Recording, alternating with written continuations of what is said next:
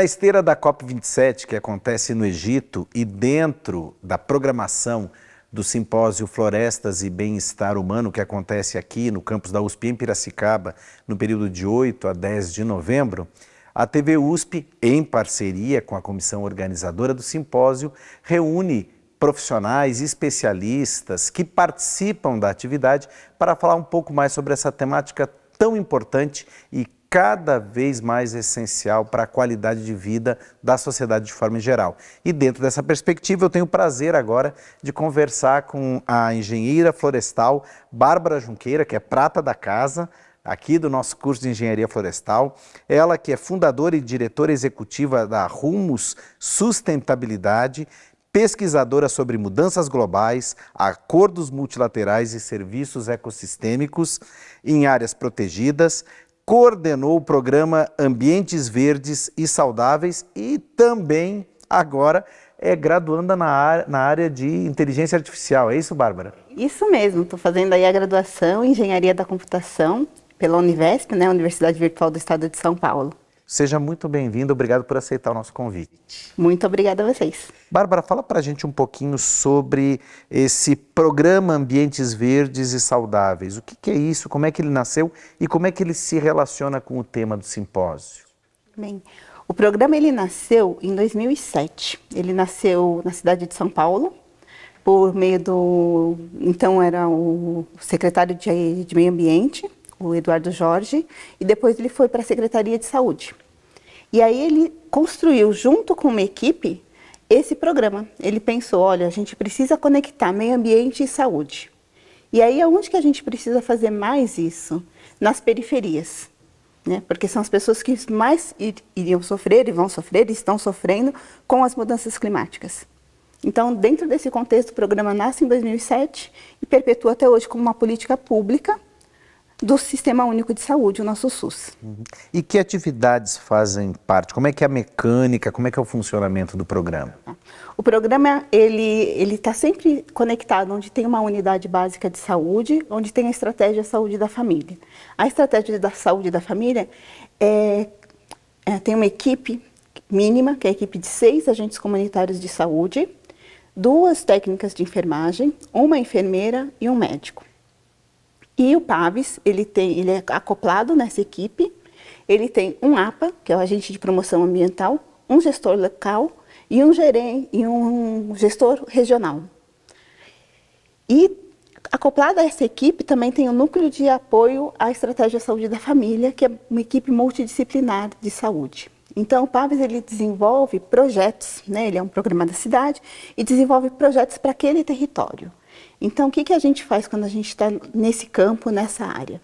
A gente tem uma unidade de saúde que abrange um determinado território. Então, é da rua A até a rua B, que confronta com a rua C e com a rua D. Então, dentro dessa área, é levantado todas as principais vulnerabilidades, todas as vulnerabilidades que tem naquele território relacionado à questão de roedores, é, de sinotrópicos como escorpião, questão da dengue, né, questão do Covid, é, também tem levantamento da onde tem lixo, descarte irregular de lixo, onde temos problemas de uso e abuso de, de drogas e psicotrópicos, onde estão também as potencialidades, como as áreas verdes, as praças, onde estão os terrenos que podem ser convertidos em, em hortas ou que podem ser convertidos em novas praças, e também o levantamento dos equipamentos sociais.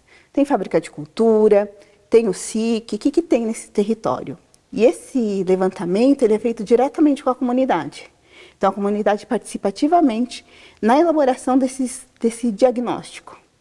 Feito esse diagnóstico, esse mapa ele é colocado na praça, onde as pessoas vão lá pontuar, aqui tem problema, aqui não tem, aqui a gente tem uma coisa boa.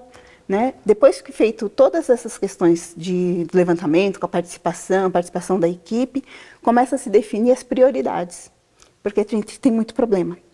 Tem muita coisa na, na área para fazer. Não é, né? periferia a gente tem muitas faltas, muitas ausências.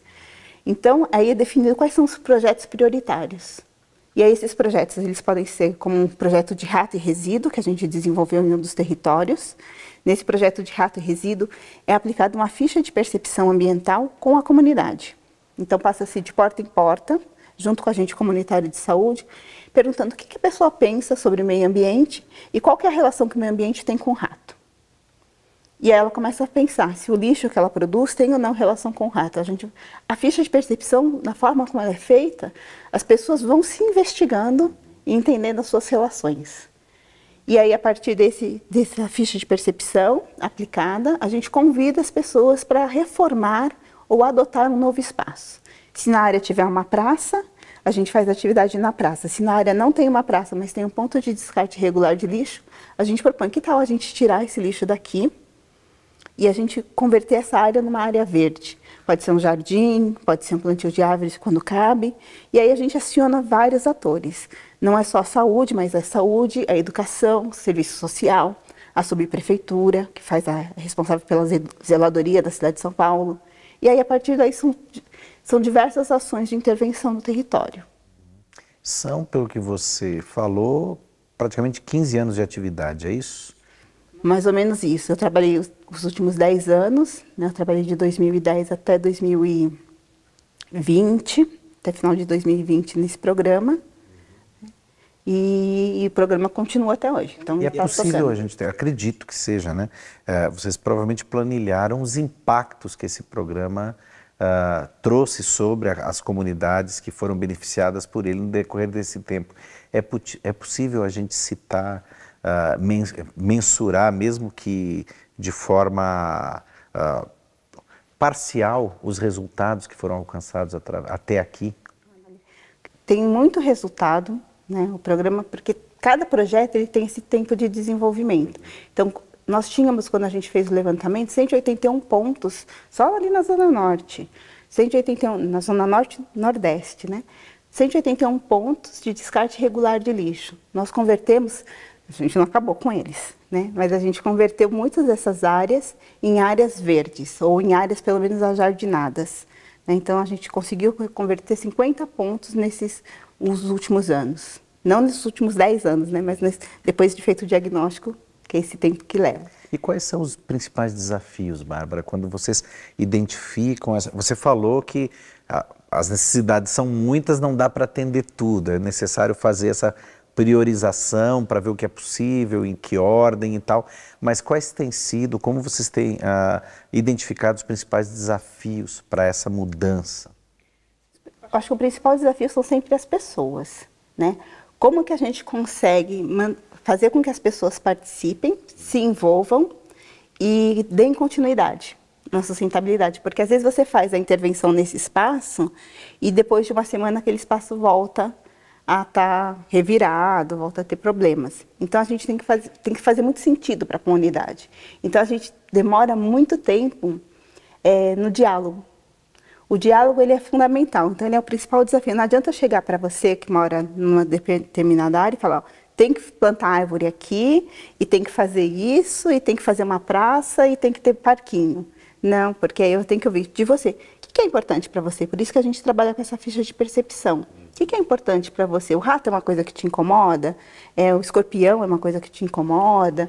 É, a falta de área verde, a falta de árvores aqui te incomoda? Tem gente que diz que sim, tem gente que diz que a árvore incomoda por causa das folhas, né? Temos os dois. E aí precisa ter muito diálogo para a gente entender o que precisa ali e para eles entenderem o que, que a gente pode oferecer. Hum? A gente também tem limitação do que a gente consegue oferecer.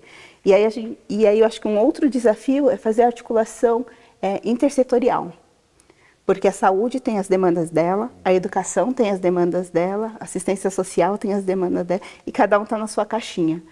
O PAVES ele tem esse desafio que é todo mundo tem que conversar, porque está todo mundo nesse território, está todo mundo nessa mesa, todo mundo vai comer desse prato. E como é que a gente vai dividir para que todo mundo saia aqui com seus resultados? Então, o desafio tem na ponta de conversar com a comunidade, mas também tem de conversar para garantir a intersetorialidade. A gente teve muito sucesso com isso, principalmente num projeto outro que a gente desenvolveu, que foi com jovens. Esses jovens que estavam passando processo de mutilação, automutilação, tentativa de suicídio é, e falta de perspectiva e de sonhos. E a gente desenvolveu um projeto que chama Revida, muito baseado na música do Emicida, né, que tem uma que era o amarelo, na época que estava tocando muito ali na perifa. E aí a gente conseguiu articular Saúde, Secretaria de Educação, Secretaria de Assistência Social, Secretaria de, de Justiça, né, que é do Estado, porque a gente está no programa municipal e teve que articular também com o Estado, que faz o atendimento de, de defensoria pública, de inclusão, e discutir o que, a gente poderia fazer com, com esse grupo. E trazer esses jovens para discutir também. E aí, como resultado, eles formaram um coletivo, um coletivo hoje autônomo. A cidade de São Paulo tem um edital, que é o programa VAI, que é um programa de investimento na, na cultura para jovens de periferia.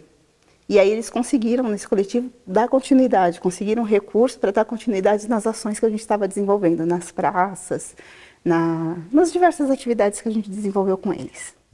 E é dentro desse contexto de trabalho que nasce a Rumo Sustentabilidade? Como é que isso entrou na vida da Bárbara? Ah, a Rumo Sustentabilidade ela surgiu em 2010. Eu estudei aqui na Exalc, minha filha nasceu aqui.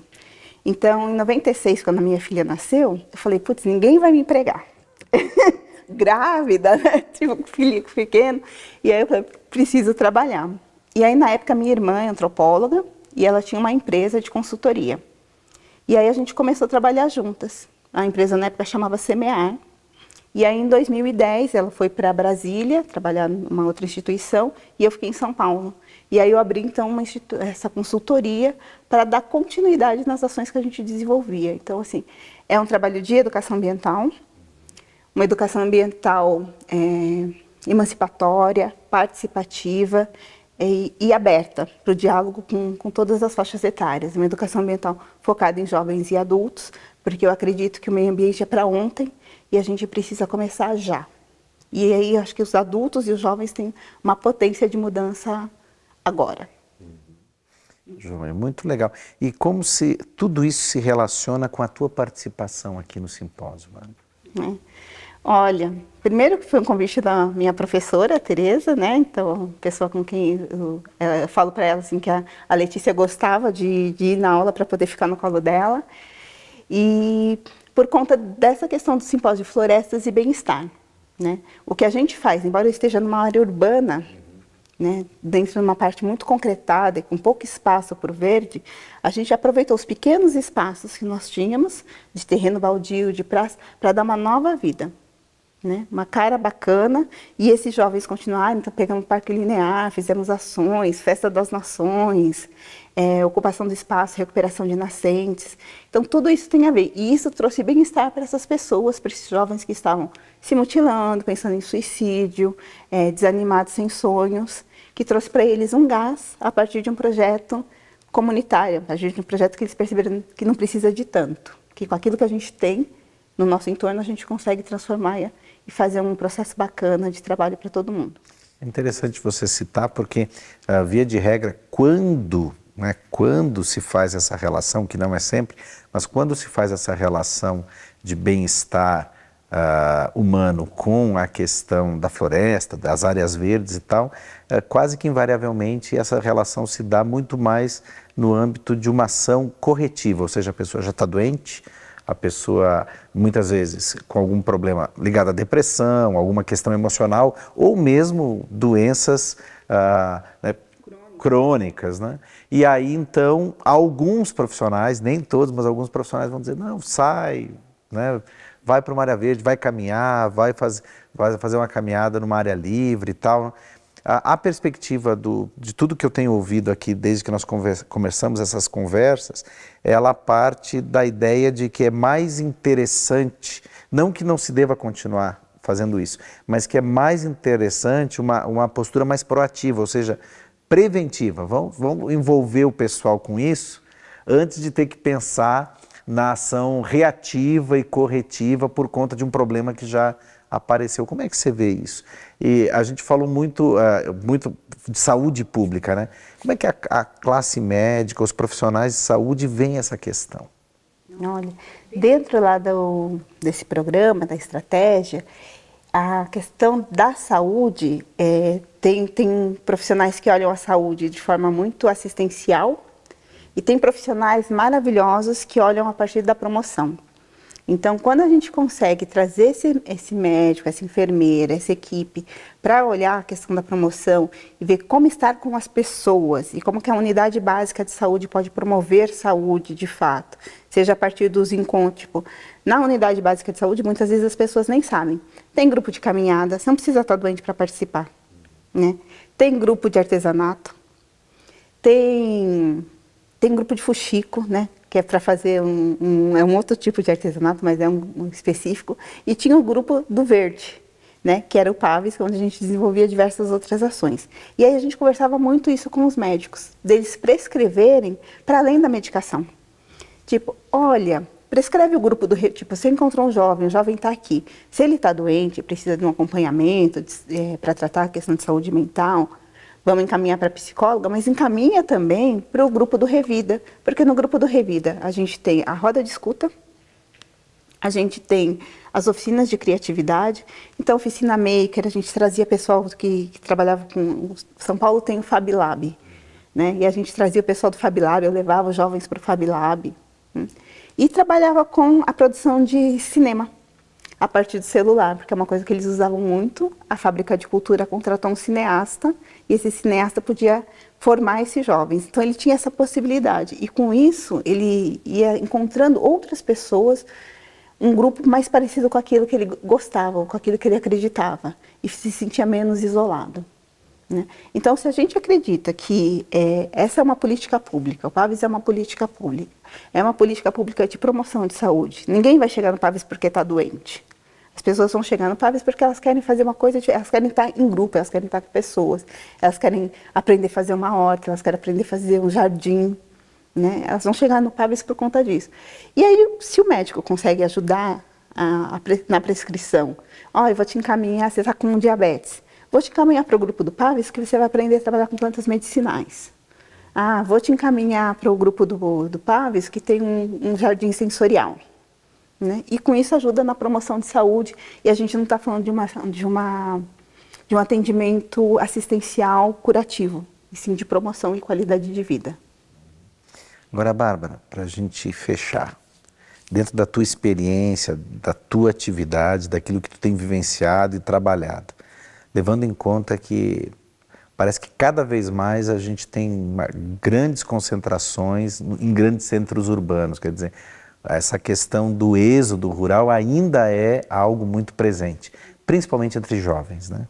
Quais são os grandes desafios para, na tua leitura, para o decorrer dos próximos anos, para a construção de ambientes saudáveis dentro dessa realidade? Olha, acho que a gente tem dois movimentos. Né? Tem esse movimento de quem está no interior ou de quem está na zona rural e que vem para a cidade, mas também tem o um movimento de quem está na cidade e está começando a trabalhar com questão de, de hortas. Teve na segunda ou terça-feira o lançamento da Política Agrícola Municipal da cidade de São Paulo. E aí a gente tem, tem um programa que chama Sampa Mais Rural.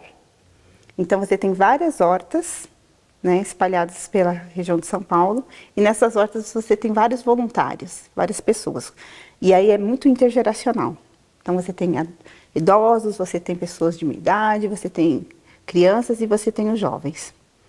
E eu acho que essa, esse trabalho com a agricultura, essa agricultura urbana, essa agricultura agroecológica, que vai falar de saúde, que vai falar de alimentação, que vai contrapor algumas questões, vai tipo, diminuir o uso de agrotóxico, todas essas questões, elas vão ajudar esses jovens a repensar a sua prática no campo. Né? E aí eu acho que isso pode servir de exemplo para que esses jovens que estão saindo do interior falem, olha, mas na cidade está todo mundo plantando, olha, mas na cidade está todo mundo fazendo horta. Por que, que eu vou sair daqui? De repente pode servir para ser uma vitrine, uma outra possibilidade. Hum. E aí a gente lá no Centro de Inovação, o Centro de Inovação de Inteligência Artificial da USP, estamos desenvolvendo um trabalho de utilizar a inteligência artificial para pensar a questão da fome, políticas públicas de combate à fome e utilizando muito do trabalho dessas hortas como uma referência. E aí eu acho que isso pode ser ser mais uma vitrine de mostrar a importância que tem o trabalho na zona rural, a importância que tem o alimento produzido lá para chegar em todos os lugares, para que todo mundo possa se alimentar melhor e para que a gente não tenha 33 milhões de pessoas passando fome no nosso país. A inteligência artificial em favor da promoção da vida. A favor da promoção da vida. Bárbara, quem quiser conhecer um pouco mais do teu trabalho como pesquisadora, as atividades da Rumo Sustentabilidade, como é que deve proceder? Endereço, e-mail, uh, uh, perfil no Instagram, como é que funciona? O nosso e-mail, é, eu uso o e-mail da USP, né, barbarajunk.usp.br, então de Bárbara Junqueira para no que mudo do Junk.